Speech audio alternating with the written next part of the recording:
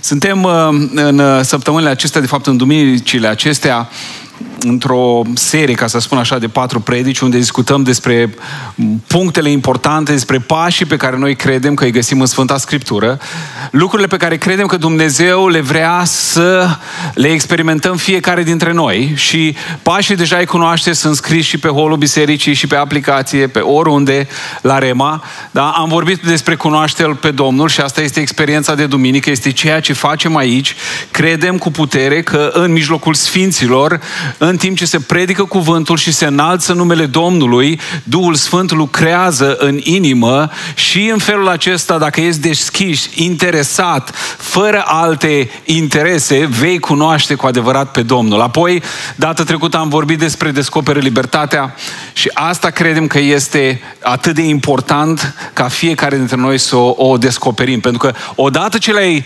cunoscut pe Domnul, primul lucru care se întâmplă dacă ne uităm în Scriptură, cad lanțurile, cad legăturile, se dărâmă întăriturile.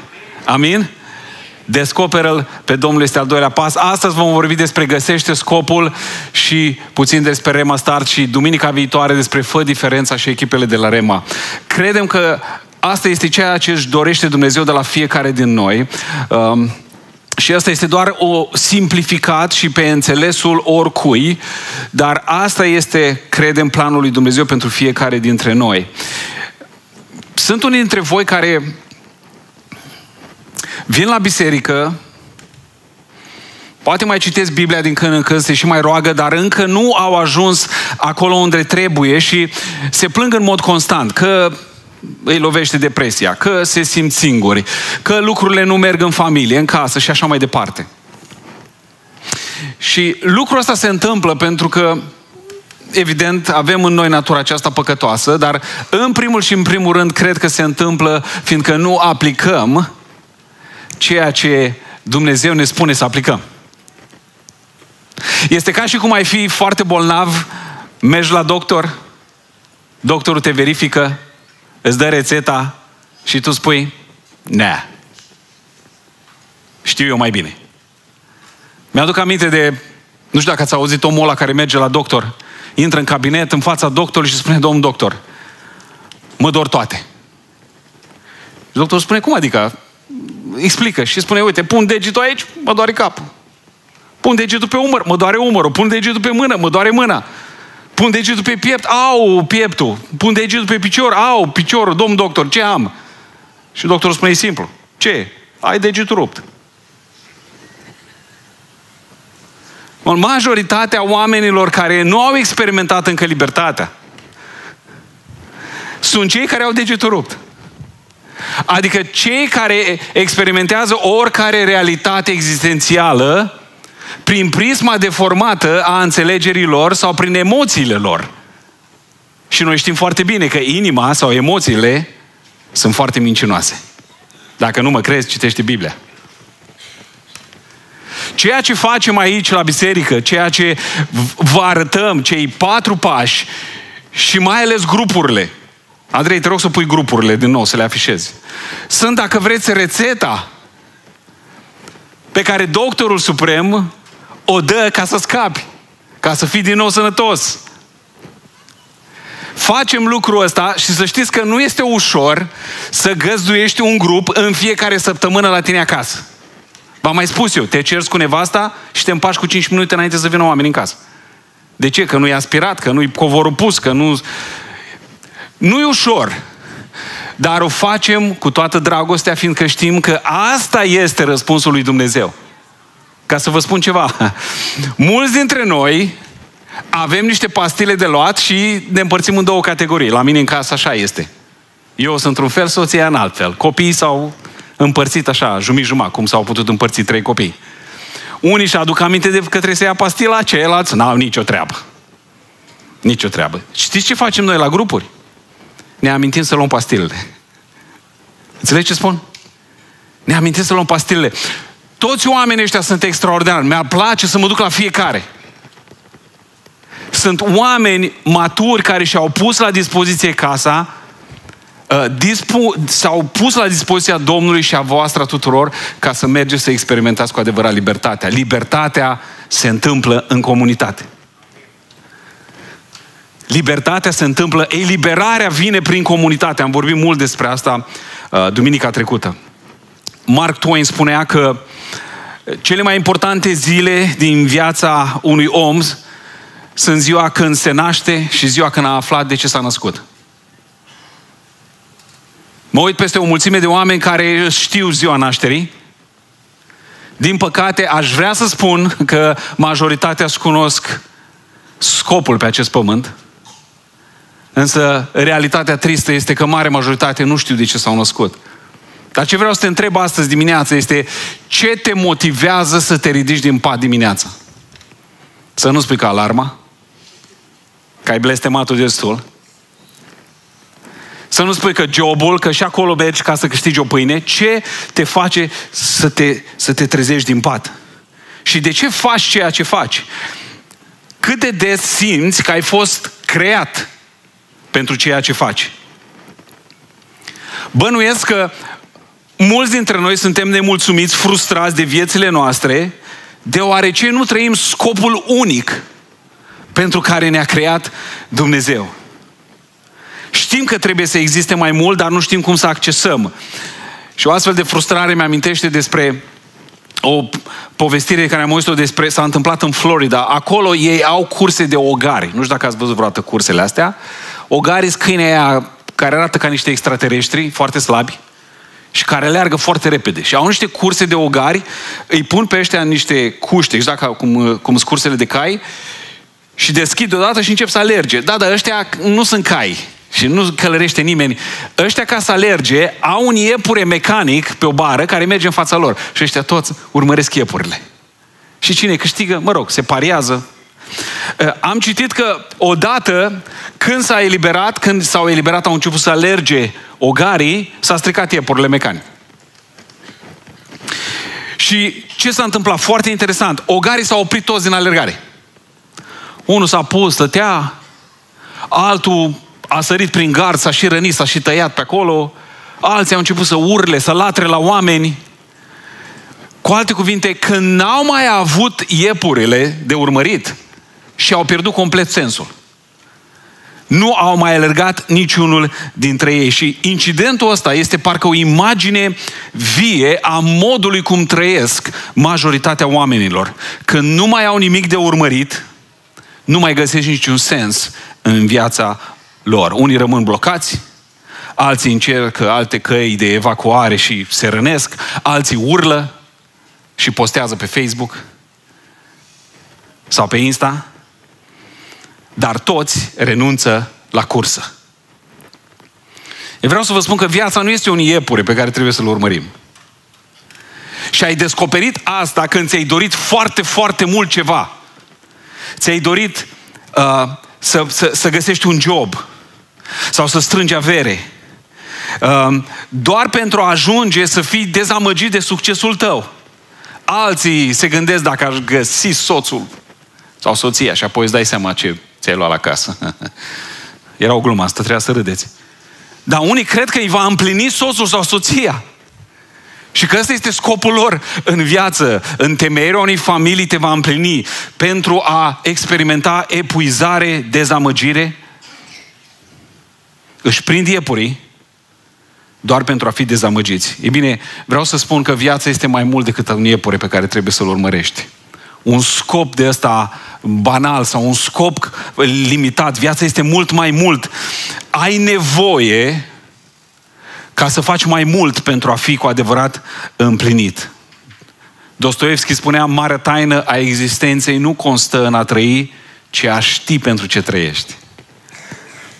Lumea asta se ocupă foarte mult de știința de a trăi. Cum să mănânci sănătos, să dormi, să uh, te simți bine. Numai despre a trăi. Dar nu este despre a trăi. Viața este mai mult decât atât. Este a ști pentru ce trăiești. Vestea bună pe care ți-o dau astăzi, conform Sfintelor Scripturi, conform Bibliei, este că Dumnezeu te-a creat pentru un scop unic este că, așa cum spunea David, pe când erai un plod fără chip în pântecele mamei tale, Dumnezeu a știut fiecare zi pe care o vei trăi, Dumnezeu a știut fiecare talent pe care îl vei ți-l va da. Dumnezeu a știut fiecare slăbiciune pe care o aveai, dar tot pachetul ăsta care poartă numele tău a fost creat de Dumnezeu pentru un scop unic. Așa că viața pe acest pământ este de fapt împlinirea potențialului, ajungerea la potențialul pe care Dumnezeu l-a hotărât în dreptul tău și în dreptul meu. Tot ce trebuie să faci este astăzi împreună să deblocăm acest potențial extraordinar. Și cred că Dumnezeu este Cel care a dat harul, spuneți toți harul, în acest aspect al vieții noastre. Deci harul a fost dat. Um, fiecare persoană se întreabă despre scopul vieții lui pe acest pământ. Uh, întrebarea aceasta vine în special în adolescență. Atunci când nu mai sunt copii, dar nici nu sunt tineri, sunt undeva între. Atunci copilul, tânărul, adolescentul își pune această întrebare, de ce oare trăiesc? Care este scopul meu? Ce mi-ar place să fac? Care este cu adevărat chemarea mea?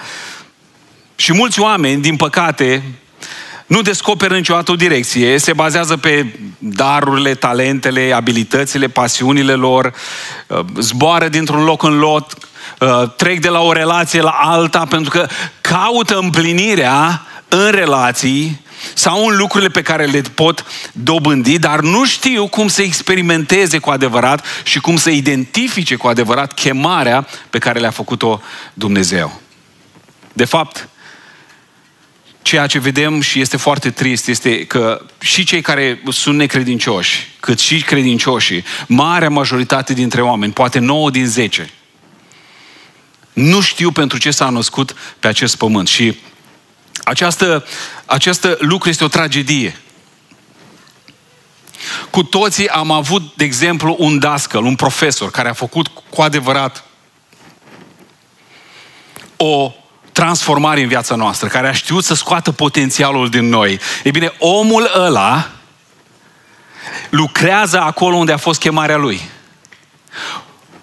Omul, femeia respectivă, face ce Dumnezeu i-a spus să facă. Și lucrul ăsta se vede prin rezultate. Dar ce este interesant este că Dumnezeu ne-a creat pe fiecare cu un scop unic. Auziți ce spune Pavel în Efeseni. Dar fiecăruia dintre noi, dar fiecare dintre noi, harul, spuneți toți harul, i-a fost dat după măsura darului lui Hristos.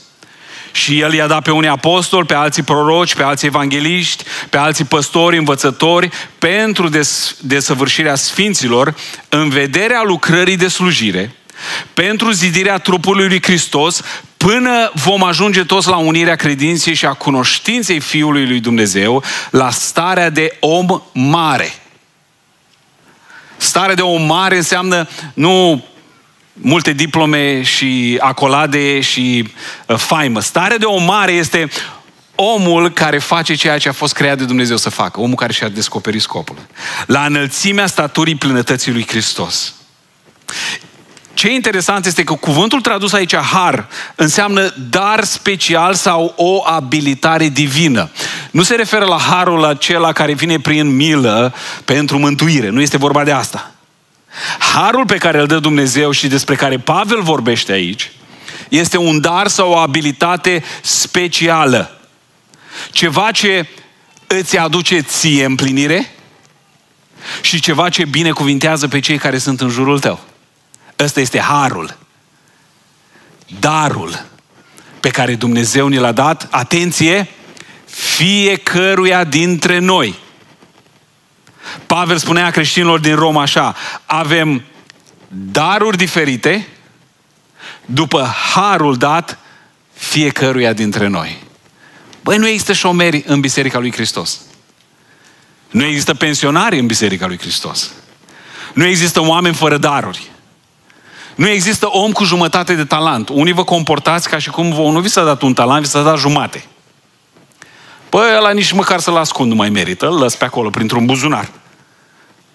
Pavel spune fiecăruia dintre noi i s-a dat o abilitate specială, har, un dar. Și dacă te uiți mai aproape la modul în care te-a făcut Dumnezeu, vei descoperi ce înseamnă a trăi viața cu scop.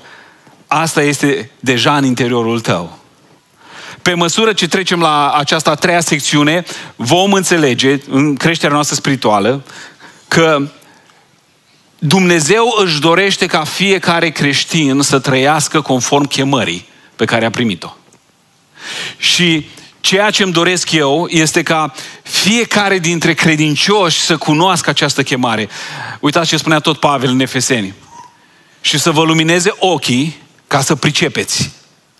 Care este nădejdea chemării lui, care este bogăția slavei moștenirii lui între sfinți. Vă rog să, observa, să observați modul în care speranța și chemarea sunt conectate. Zice nădejdea chemării. Ele sunt conectate. Când n-ai speranță, când nu mai ai nădejde, înseamnă că nu trăiești chemarea pe care ți-a dat-o Dumnezeu. Înseamnă că nu faci ceea ce Dumnezeu ți-a spus să faci. Ele sunt conectate. Ele sunt legate. Practic, nu vei avea niciodată o viață bună, împlinită, până nu vei ști care este chemarea lui Dumnezeu specifică pentru viața ta. Nimic nu te va satisface, nimic nu te va împlini. Dar în clipa când ajungi să-ți cunoști scopul sacru, scopul divin, atunci ești cu adevărat împlinit, atunci speranța vine în inima ta, nu te mai vizitează depresia, dezamăgirea și înțelegi cu adevărat ceea ce ai fost chemat să faci. A vedea pe cineva împlinindu-și chemarea cu scop și pasiune, dați-mi voie să vă spun, este teribil de inspirațional. Filozoful David Hume, un filozof ateu, prin secolul uh, XIX, a fost văzut într-o noapte ploioasă, mergând cu umbrela înspre Coloseum, acolo unde se făceau evangelizări și un trecător care le-a recunoscut îl întreabă, bună seara, dar unde, unde mergeți? Și zice, merge să-l ascult pe George Whitefield, marele predicator. Și omul spune, păi, ăsta e creștin, ăsta e credincios. De ce merge să-l ascultați pe Whitefield? Și Hume spune, da, eu nu sunt, da, el este și este extraordinar de experiență, de uh, bine să mă duc să văd pe un om care crede în ceea ce spune. Este așa de inspirațional să te uiți la oamenii care fac ceea ce au fost cremați să facă. Se merită să te uiți la un om care crede în ceea ce spune. Cunoașterea scopului tău este al doilea lucru ca importanță după cunoașterea lui Isus Hristos ca mântuitor a tău.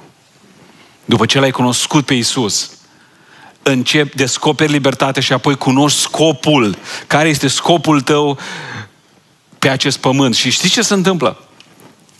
Când îți descoperi scopul, scopul tău este așa de mare încât toate problemele tale sunt mici. Sigur că tu poți să fii focalizat pe problemele tale, problemele tale vor deveni mari și scopul se va face mic. Dacă îți găsești scopul, scopul tău este așa de mare încât toate lucrurile, toate problemele, stresul devin, devin mici. Pavel spunea în 2 Corinteni așa, de aceea noi nu cădem de oboseală. Și chiar dacă omul nostru de afară se trece, totuși omul dinăuntru se noiește din zi în zi. Căci întristările noastre ușoare de o clipă lucrează pentru noi tot mai mult o greutate veșnică de slavă. Pentru că noi nu ne uităm la lucrurile care se văd, ci la cele care nu se văd, căci lucrurile care se văd sunt trecătoare, pe când cele care nu se văd sunt veșnice. Și Pavel a fost un om care a avut o mulțime de probleme. De fapt, erau sute, poate mii de oameni care voiau mort.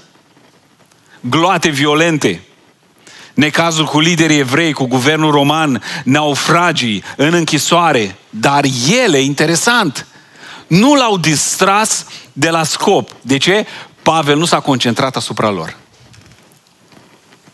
O mulțime dintre noi suntem concentrați asupra problemelor, a stresului, cum să rezolv, cum să rezolv, cum să rezolv, cum să rezolv și uităm că trăirea noastră pe acest pământ are de-a face în primul rând cu scopul lui Dumnezeu.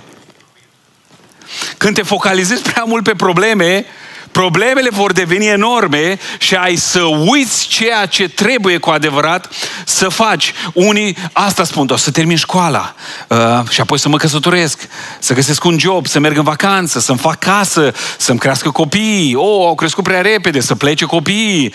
Oh, ce rău că au plecat și din una în alta ajungi că nu mai rezolvi nimic.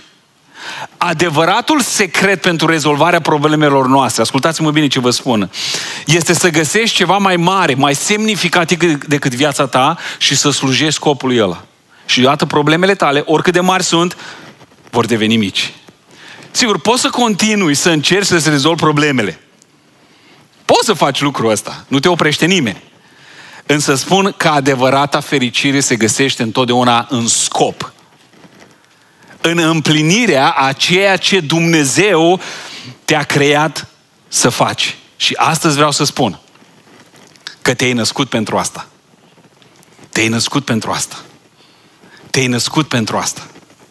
Nu te-ai născut să mergi dintr-un loc într-un loc, nu te-ai născut să stai numai cu telecomanda în mână, nu te-ai născut ca să dai scrolling până îți zboară creierii, nu te-ai născut ca să, ca să îți plângi de milă, nu te-ai născut ca să trăiești în păcat, te-ai născut pentru un scop specific.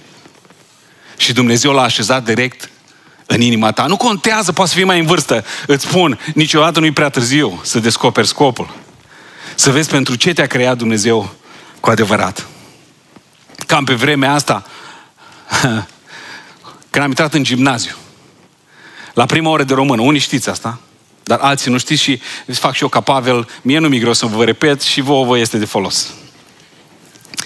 Um, la prima oră de română, profesoara ne-a zis, aveam două ore legate, una lângă alta, și zice, eram la școala 21 acolo în Cantimir, de fapt, podul de lemn. Și zice, uh, la prima oră toți copiii mergem într-o excursie. Noi, yeah, nu facem școală, nu facem română. Și am mers la strand.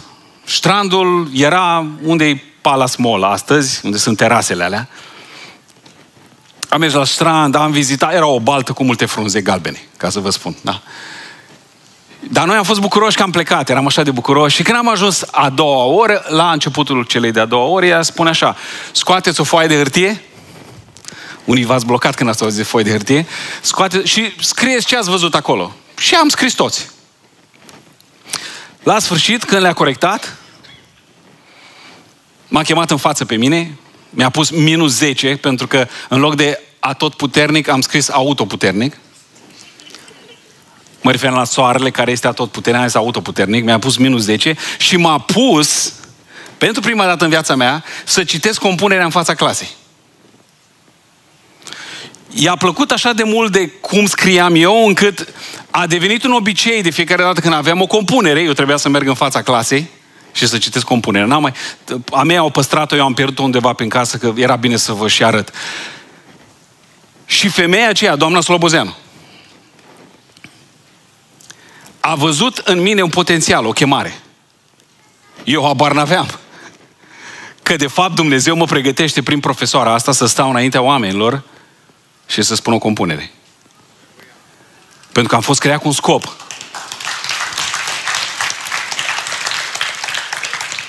Vreau să spun ceva. Și tu ai fost făcut cu un scop specific. Și cei mai fericiți oameni pe care am întâlnit nu sunt nici cei mai bogați, nu sunt nici cei mai faimoși, am cunoscut și pe unii și pe alții, ci sunt oamenii care trăiesc cu adevărat scopul. Oameni care știu că sunt acolo unde Dumnezeu vrea ca ei să fie. Oameni care și-au descoperit scopul și trăiau ca atare. Când știi pentru ce ai fost creat, nu trăiești oricum. Nu-ți permiți să faci orice. Pentru că ai o chemare specială. Nu știu care de aici știți sau v-ați făcut, dar există posibilitatea să-ți faci testul ADN. Știți asta, nu? Sunt mai multe firme de astea, plătești și pe Amazon găsiți, plătești uh, banii, cred că e vreo 100 de euro, 100 de dolari, nu mai știu, uh, și îți trimite un pachet, bage acolo în obraz, trimiți și salivă între... Nici ca, sunt ca niște bețișoare care te scobește în urechi, numai că mai mari, le împachetezi, le trimiți și ei îți trimit înapoi care este originea ta. Da? Și majoritatea dintre noi cam știm de pe unde venim, că ne cunoaștem bunicii sau știm de la bunici de unde, ce, cum. Și găsești acolo în rezultate uh, dezvă, îți dezvăluie originile etnice sau culturale. Și confirmă, unii sunt din Rusia, alții din au și ceva prin Asia, foarte interesant. Ne-am făcut și noi testul ADN, i-am făcut lui Cela un cadou de ziua ei, câțiva ani de zile în urmă, nu mai știu cât. Uh, și ce cadou a primit? Când a descoperit, mamă, ce cadou a primit, a aflat că pe lângă 50% balcanică, acum toți de aici sunteți 50% balcanici, vă spun de pe acum, să nu mai cheltuiți, da? Uh, da, este 8% iberică. 8% iberică, 2% italiancă și 1,2% evreu așchenazi. Deci sunt căsătorit cu un evreu de 1 și ceva la sută. Da. Uh, asta nu-i bucuria ei cea mai mare.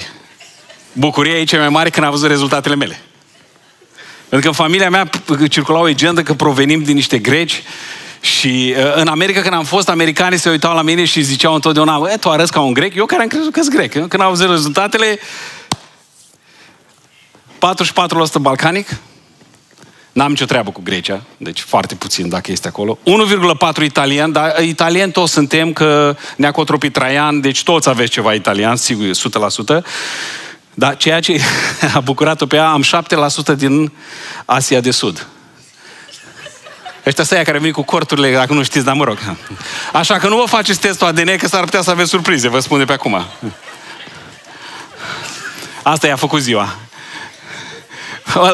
Ce vreau să vă spun? Când știi de unde vii, sunt o mulțime de oameni care Uh, când îți cunosc moștenirea culturală, etnică, îi ajută să înțeleagă, să accepte anumite aspecte ale familiei, ale identității, a personalității. La mine în casă, Sofia a început să vorbească spaniolă și să-i placă Spania la nebunie. Vrea numai în Spania să ajungă. De când a aflat că maică să are 8% iberică, spaniolă. Acum, indiferent de detaliile ADN-ului nostru, indiferent, toți ne tragem din Dumnezeu. Toți venim din mintea și din rostirea lui Dumnezeu. Și tot ce iese din Dumnezeu este veșnic. Puteți spune asta amin mai mulți. Asta înseamnă că nu vei muri niciodată. În sensul definitiv, că sunt unii care, uh, ăia nici măcar nu sunt creștini, care spun că moare și sufletul și dispar. Nu, no, no, no, no, Biblia nu ne spune așa. Sunt două feluri. Este moartea care este prezența lui Dumnezeu și de fapt este viața adevărată și este moartea, despărțirea de Dumnezeu, iadul, focul, pucioasa și aia este groaznică, dar nu mor niciodată, adică nu în sensul că nu dispari. E bine, dacă toți venim din mintea și din cuvintele lui Dumnezeu, înseamnă că fiecare de aici are un scop specific. Știți foarte bine că îmi place împăratul David. El pur și simplu știa de unde vine. David avea conștiința asta în el, ceva extraordinar. Deși a fost un tip foarte smerit, un păstorel de ăsta, nici măcar nu era la preselecții. El n-a fost la preselecții când a venit uh, când a venit Samuel, el era undeva la oi. Nici, avea așa o părere despre el, dar David niciodată nu a uitat de unde vine. El spune, când se uită la Dumnezeu, îi spune, te laud că sunt o făptură așa de minunată. Minunate sunt lucrările tale și ce bine vede sufletul meu lucrul acesta. David nu era arogant aici. El a cunoscut, a știut de unde vine. Ce bine vede sufletul meu lucrul acesta înseamnă ce mult scop, ce mult sens mi-am găsit eu când am înțeles că vin din mâinile tale. Când am înțeles care este cu adevărat chemarea mea. Ca David suntem toți. Toți am venit de la Dumnezeu, toți am, făcut, am fost concepuți într-un mod tainic undeva în pântecele mamei noastre. Și Pavel reflectă la imaginea asta făcută de David în Efesen 2 și spune că noi suntem m- lucrarea mâinilor lui Dumnezeu. Creați în Iisus Hristos pentru a face fapte bune, pe care Dumnezeu le-a pregătit dinainte, spuneți toți dinainte, pentru ca noi să le facem. Așa că atunci când faci o faptă bună, să nu cumva să te mândrești, ea a fost pregătită dinainte. Cu alte cuvinte, meritul nu este a tău, ci este a Domnului. Faptele bune, tot ce facem noi bun și bine, vine, provine din Dumnezeu. Observați, vă rog, cum, cum Pavel adresează lucrul ăsta și spune, El ne-a creat efectiv ca să facem fapte bune, ne-a dat de la naștere niște aptitudini extraordinare, pentru că, să vă spun ceva, designul dezvăluie destinul. Descoperă scopul înseamnă descoperă designul. Cum te descoperi pentru ceea ce ai fost creat? Vreau să fim foarte practici. La Rema Start avem un test de personalitate uh, în care vezi cum te-a creat Dumnezeu. Astea sunt lucruri pe care Dumnezeu l-a pus la dispoziția noastră, chiar dacă prin înțelepciunea omenească. Și haideți să vedem care este designul. Cole, uh, coleric, dominant, direct, orientat spre sarcină, hotărător, organizat. Uh, sangvin trebuia să fie subflegmatic, este o greșeală aici, da? Deci primul este coleric. Ăsta este felul lui de a împinge, de a, de a muta. Ăstea, ăștia sunt lideri. Următorul este sangvin. Interes pentru oameni, ăsta e extrovertit, orientat spre oameni. Ăștia sunt cei care vă întâmpină. Ăștia sunt cei care sunt extrovertiți, sangvinii, care se simt bine în relații. Flegmatic, ăsta e stabil, analitic, orientat spre oameni, introvertit. Am ceva introvertit pe aici? Nu ridica mâna, știu că nu vrei, dă așa din pleape. nu, știu că nu vrei să ridici mâna și nici să dai mâna cu nimeni, știu. Te forțăm, ăștia la Rema te forțează. Da. Uh, și melancolicul, nu știu de ce a ajuns melancolie acolo, dar e ok. Uh, conformitate, competență, orientat spre sarcini, orientat spre obiectiv, introvertit și ăsta introvertit. Ăștia sunt ăia care lucrează la computere, ăștia sunt ăia care, care fac postările astea foarte faine. Ei nu sunt așa de buni cu oamenii, dar sunt foarte analitici. Ei bine, în una din astea patru te încadrezi tu. Și trebuie să vezi care este chemarea ta specifică. E foarte simplu. La Rema Start avem astfel de, de test de personalitate pentru că asta îți dă un sens asupra locului unde tu ar trebui să fii. N-ai ce căuta la întâmpinare dacă ești melancolic. Că îi îmbolnăvești pe toți de melancolie. Lasă, stai și fă altceva și sunt care fac o grămadă de lucruri, dar nu sunt acolo. Acolo îți trebuie, era să spun colerici, nu chiar, de sangvinici. Ăia colerici sunt un pic prea mult. De ăștia care vin și te întâmpină cu un zâmbet și te fac să te simți bine că ești aici. Și prin asta descoperi, din urma studierii și înțelegerii personalității tale, încep să înțelegi care este scopul și rolul. Și apoi îți descoperi darul.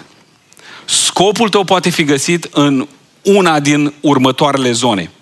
Uh, pentru că Dumnezeu ne-a dat daruri și pasiune. Auziți ce spune Pavel în Romani? Deoarece avem felurite daruri. După harul care ne-a fost dat, cine are darul prorociei să-l întribuințeze după măsura credinței lui. Cine este chemat la o slujbă să se țină de slujba lui. Cine îi învață pe alții să se țină de învățătură. Cine îi îmbărbătează pe alții să se țină de îmbărbătare. Adică ești, ești într-un fel constrâns de darul pe care l-ai primit. Vedeți? Cine dă să dea cu inimă largă. Spuneți amin la asta? Așa, așa, amin. Emi a făcut așa. Ok? Cine cârmuiește să cârmuiască cu râvnă, cine face milostenie să o facă cu bucurie. Amin. Darurile și pasiunile tale sunt domeniile pe care le iubești și la care excelezi în mod natural. Nu trebuie să te chinui. Este în tine lucrul ăsta. Poate să fie necesar să-ți faci un test de personalitate, dar apoi trebuie să urmărești ceea ce îți place, ceea ce te încarcă, întotdeauna spun, în slujire nu există burnout. Dacă faci ceea ce ai fost creat să faci, nu experimentezi burnout. Nevastă mă mai întreabă, bă, tu nu te stura să pregi în fiecare duminică? no. Unii mă întreabă, ești gata? Am fost născut pentru asta. Sunt gata de, de, de când m-am născut. E chemarea mea. Nu obosești. Știi când obosești? Când faci ceea ce nu trebuie să faci. Atunci obosești. Atunci Eliza cântă de 21 de zile aici. Mare puțin și bariton în spatele meu aud. Niciodată n-am văzut-o tristă, că nu poate, că nu știu. Nu, asta e chemarea ei. E a doua ei natură. Fiecare de aici avem o chemare. E natura noastră, e ceea ce de fapt ne încarcă și ne dă energie. Ceea ce ne face să, să avem sens și scop pe acest pământ. Deci darul Este ceea ce te încarcă, ceea ce te ajută în trăirea ta. Și apoi, de ce, de ce nu, experiența ta de viață? Da? Și pe asta o folosește Dumnezeu. Roman 12. Vă îndemn, dar fraților, pentru îndurarea lui Dumnezeu, să aduceți trupurile voastre ca o jerfă vie, sfântă, plăcută lui Dumnezeu. Aceasta va fi din partea voastră o slujbă duhovnicească. Spuneți o slujbă. Dumnezeu te va folosi adesea în evenimentele și situațiile pe care le trăiești. Chiar și în momentele banale, dacă vă uitați cu atenție la ceea ce spune Pavel aici, chiar și în momentele banale ale tale, ești în uh, stație la autobuz, la coadă la simigerie, deși ar fi bine să nu mai stăm la coz la simigerie, ok? Uh, chiar și atunci în alea banale, putem să fim folosiți de Dumnezeu, da? Putem, uh, mulți dintre noi putem presupune că ăștia care sunt pe scenă au joburile adevărate în biserică. Restul, nu prea. Ceea ce e foarte fals. Ceea ce e foarte fals. Ca cineva să ajungă să primească cuvântul lui Dumnezeu, trebuie să fie întâmpinat cum trebuie, trebuie să aibă parte de o atmosferă în care este primit, trebuie să aibă parte de o atmosferă a închinării unde să simtă prezența lui Dumnezeu, trebuie să nu se simtă judecat. Vedeți, toate merg mână în mână. Toate darurile noastre sunt complementare, se, se complementează unul pe celălalt. Dar dacă suntem dispuși să slujim, Dumnezeu ne folosește pe toți în multe feluri, în fiecare zi. Pentru că Dumnezeu folosește experiența ta de viață. Amin? Și apoi durerea ta. Toți spun despre treaba asta. E foarte nepopulară, de el este extrem de adevărată. Pavel spune, binecuvântat să fie Dumnezeu, Tatăl Domnului nostru Isus Hristos, Părintele îndurărilor și Dumnezeul oricărei mângâieri, care ne mângâie în toate necazurile noastre, pentru ca, foarte important, prin mângâierea cu care noi înșine suntem mângâiați de Dumnezeu, să-i putem mângâia pe cei ce se află în vreun necaz. Acum, oricât de inconfortabil este versetul ăsta, este foarte adevărat. Dumnezeu îngăduie să trecem prin diferite necazuri ca să ne mângâie. Și experiența aceasta poate să-i vindece pe alții. Nu poate, ci sigur va vindeca pe ceilalți. Asta înseamnă că trebuie să prețuim chiar și zilele care sunt mai stresante, chiar și, și perioadele din viață în care am trecut și am avut răni sau zile proaste. Asta înseamnă să prețuim timpurile grele. Dacă ai fost vreodată mângâiat, și ți-aduce aminte acum. Ai fost mângâiat întotdeauna de o persoană care a experimentat ceea ce experimentai tu la momentul ăla. nu e așa? Pentru că persoana respectivă are capacitatea aceasta de a mângâia, pentru că a fost și el mângâiat de Dumnezeu în perioada lui de probleme. Am la mine pe birou un post-it așa pe care scrie Adversity is a terrible thing to waste. Adversitatea este un lucru teribil să-l, să-l irosești. Majoritatea dintre noi nu știm cum să scăpăm de aversitate. Exact cum sunt prunci ăștia care ajung pe la școală și vor să scape de teze. Și eu zic, băi, ai să-ți dorești să mai dai teze și examen. Hai să-ți dorești să mergi la liceu. Dar nu o să mai poți să întorci timpul. Este un tip super, uluitor de frumos. Nu-ți dori să se termine. Pentru că adversitatea este lucru care îți dă valoarea. Dacă mă uit în viața mea, în momentele cele mai grele, când eram în Statele Unite, fără soție, fără băiat, când era, eram, experimentam un deșert, parcă Dumnezeu nu mai asculta rugăciunile mele, parcă totul era blocat în loc, ă, aș fi făcut orice să scap, dar astăzi, cu minte de acum, îi dau slavă lui Dumnezeu, pentru că ceea ce sunt astăzi a fost făcut atunci, în perioada deșertului. O mulțime dintre voi vreți să scăpați de necazuri, și uitați că ați fost făcut pentru slujire.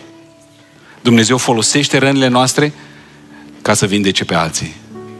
Dar tu ai fost făcut pentru slujire. Indiferent care este designul tău de personalitate, indiferent care este darul tău care te împlinește, cu toții trebuie să reflectăm caracterul lui Dumnezeu indiferent de cine ești aici și ce chemare ai, cu toții, de la mic la mare, tânăr și bătrân, trebuie să reflectăm caracterul lui Dumnezeu. Petru spunea, voi sunteți o seminție aleasă, o preoție împărătească, un neam sfânt, un popor pe care Dumnezeu și l-a câștigat ca să fie al lui. De ce? Ca să venim la biserică să ne batem unul pe altul pe spate? Nu? Nu? Nu de asta? Ci ce spune Pavel? Ca să vestiți puterile minunate ale celui ce va chema din întuneric la lumina sa minunată. Binecuvântat să fie Domnul. Dacă îl cunoști pe Dumnezeu, atunci ești responsabil pentru a împărtăși cu ceilalți ce a făcut Dumnezeu în viața ta. Pentru că avem toți același acces la Dumnezeu și la Duhul Lui cel Sfânt. Sunt unii care vin la mine și spun, oh, vin la mine să le rezolve o problemă. Și le spun, eu am acces, acces ca și tine. Eu sunt în sales, nu în management. Unii cred că eu sunt în management. Cumva eu sunt managementul ceresc, Dumnezeu vine și se sfătuiește cu mine ce să facă. Nu, nu, eu sunt ca toți, ca fiecare de aici. Am doar un dar. Atât. Asta e tot. Accesul care l-am eu, îl ai și tu. Înțelepciunea pe care o am eu, o ai și tu. E disponibilă. E acolo când te rogi. Dumnezeu te ascultă și pe tine ca pe mine? Când descrii Scriptura, Dumnezeu îți vorbește, cum îmi vorbește și mie. Toți suntem egali înaintea lui Dumnezeu. Dumnezeu nu are lista A și lista B. Nu. Nu. Toți avem acces înaintea lui Dumnezeu. Și ceea ce vreau să spun astăzi este că fiecare sarcină este vitală pentru lucrarea aceasta de promovare a împărăției lui Dumnezeu. Biblia ne amintește, voi toți împreună sunteți trupul lui Hristos și fiecare dintre voi face parte din el. Amin? Și astăzi, în final, vreau să-ți dau o veste. Ești gata? Nu mai este nimeni ca tine. Noi spunem că nu este nimeni ca tine, Doamne, corect. Dar pentru că El ne-a creat, nu este nimeni ca tine. Nimeni ca tine, nimeni care să aibă ADN-ul tău, amprentele tale, ești unic. Nu unul la un miliard, un milion, nu, ești unic. Ești unică. Știi ce îmi spune mie asta? Înseamnă că scopul tău pe pământ este unic. Te-ai întrebat vreodată de ce nu te-ai născut în Africa? Sau în Papua Noua Guinee? A? Ai vrut să te naști la Monaco, nu? Sigur, cum să nu? Te-ai născut aici pentru că Dumnezeu a vrut să te naști. Nu ești mulțumit cu familia ta? Vorbește cu managementul. Că e unul care a decis acolo în dreptul tău. Ești chemat pentru asta. Ai fost chemat să te cheme cum te cheamă. Te plângi de copiii tăi că nu-s buni? Vorbește cu managementul. El ți-a dat pentru că știe că tu poți să-i crești. Și poți să-i educi. Și să le dai o moștenire sfântă. Nu este nimeni ca tine. Unii oameni cred că nu au cu ce să contribuiască.